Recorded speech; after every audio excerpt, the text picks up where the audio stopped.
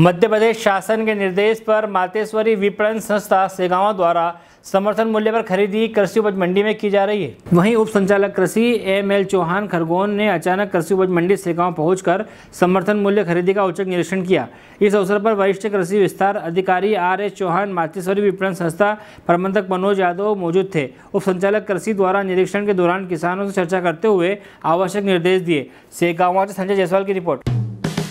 Hello friends आप देख रहे हैं हमारा channel S W twenty four news हमारे सारे वीडियो सबसे पहले देखने के लिए आप हमारे चैनल को सब्सक्राइब करें और पास में लगे बेल आइकोन को दबाना बिल्कुल भी ना भूलें।